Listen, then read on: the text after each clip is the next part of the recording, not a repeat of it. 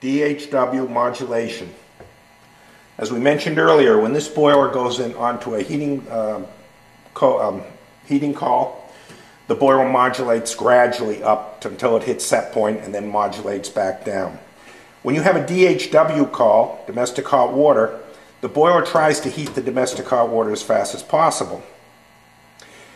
For that reason, it starts modulating to high fire immediately. If I choose to have it modulate in a stepped modulation similar to the heating system, then I hit the enter button. It says normal modulation, which is wide open. And I can hit the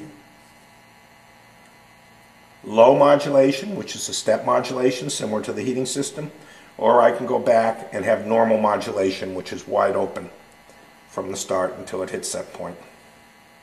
Once again, I hit the enter button and I index to the next function. The extra boiler mode, number 30, off. This function allows the elite boiler, if it cannot keep up or a series of them cannot keep up, it allows the boiler to send out a 120 volt signal at a predetermined percentage of output to fire up an older existing boiler to help on the few days a year when um, the, there's a high demand. Also, uh, if for some reason the boiler is down, it would allow the other boiler to take over as a substitute. Normally that's on off. I'm going to say it's on on, so I'm going to change that to on.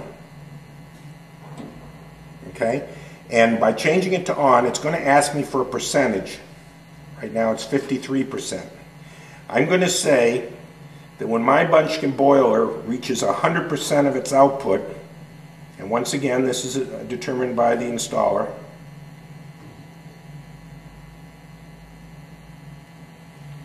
when it reaches 100% of input output, it's going to fire up that other boiler if necessary.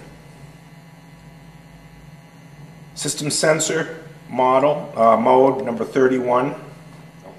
It's asking, do I want to put a cascade sensor on my main heating loop?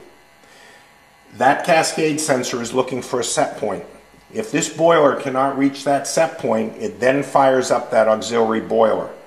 If I have that off, then it's, it's not functional, the auxiliary boiler.